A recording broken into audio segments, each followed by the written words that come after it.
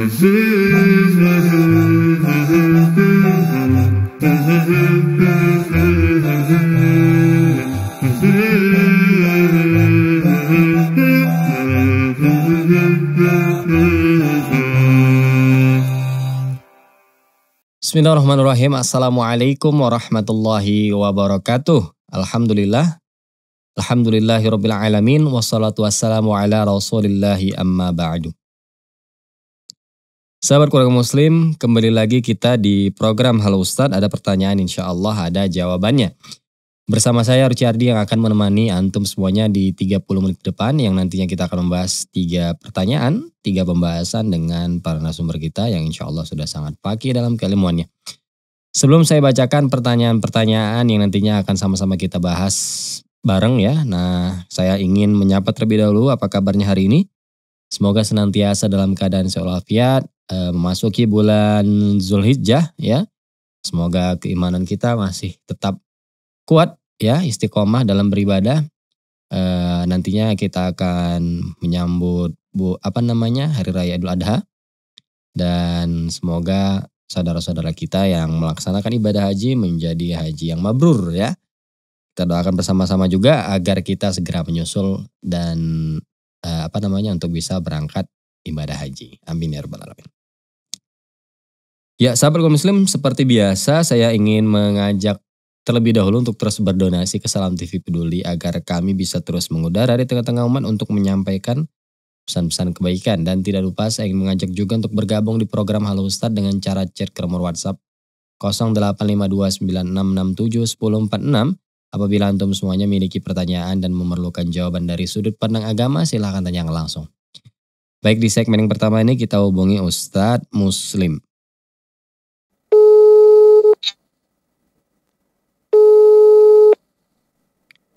Halo Ustaz, Assalamualaikum. Waalaikumsalam warahmatullahi wabarakatuh.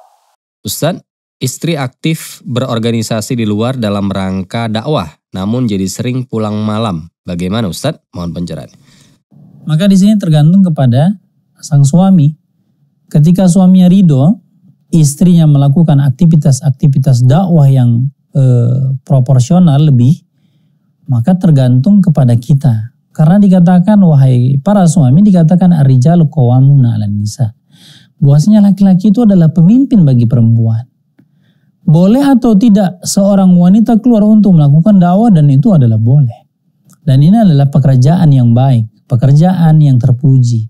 Akan tetapi kalau kita melihat ini adalah di luar dari kapasitas berlebihan, maka kita harus menjelaskan kepada istri. Ibadah dikatakan punya batasan. Maka bagaimana Salman menasihati Abu Darda? Dia mengatakan, wahai Abu Darda, inna li nafsika haq, wali rabbika haq. Maka dikatakan sesungguhnya untuk dirimu ada haknya. Dan untuk Allah ada haknya. Wali ahlika haq. Dan untuk keluargamu ada haknya. Jadi pekerjaan ibadah, dakwah dalam kategori ibadah adalah boleh nggak melampaui dari kapasitas menyanyiakan suami dengan anak-anak, maka secara hukum tidak boleh. Kalau kita merasa ini melebihi dari kapasitas, maka kita kemudian menasihati istri agar kemudian tidak berlebihan dalam menggunakan waktu sehingga waktu bersama dengan anak, dengan suami kemudian dikorbankan sehingga kemudian semuanya adalah untuk berdakwah kepada Allah Subhanahu wa taala.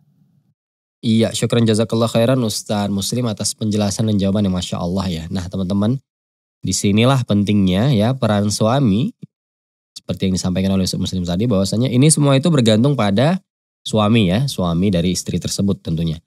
Jadi eh, bagaimana suami ini memberikan izin atau tidak? Karena memang apa yang dilakukan oleh eh, istrinya ini sangat mulia ya teman-teman ya, organisasi untuk berdakwah. Ini bagus sekali ya, berdakwah segala macam memang untuk sifatnya untuk kebaikan.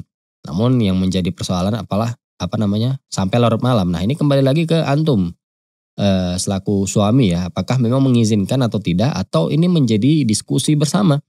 Kira-kira eh, kalau sampai malam itu bagaimana? Eh, apakah mungkin ya soal apa namanya eh, ke sana kemarinya dengan siapa atau bagaimana? Apakah Mungkin bahkan suami mendukung dengan ikut antar jemput dan lain sebagainya. Dan jika ini memungkinkan boleh-boleh saja. Namun kalau seandainya uh, ini malah menjadi membahayakan misalnya jadi uh, apa namanya pulang pergi sendiri dan lain sebagainya malam hari itu cukup uh, rawan ini ya uh, apa namanya kejahatan maka hal ini mungkin bisa didiskusikan kembali. Itu kalau dari saya pribadi ya.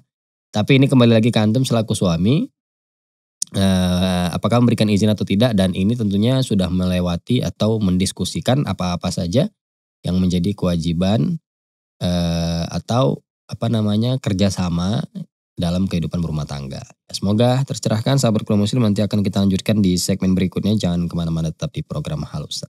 Ustaz, saya pernah dengar apabila tiga kali berturut-turut tidak sholat Jumat, maka seseorang itu sudah menjadi kafir. Apakah benar Ustaz?